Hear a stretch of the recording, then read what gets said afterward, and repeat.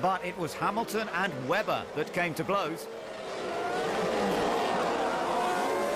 Lewis dropped to seventh behind Schumacher, while Webber fell right back into the midfield. Contact was made and the damage was done.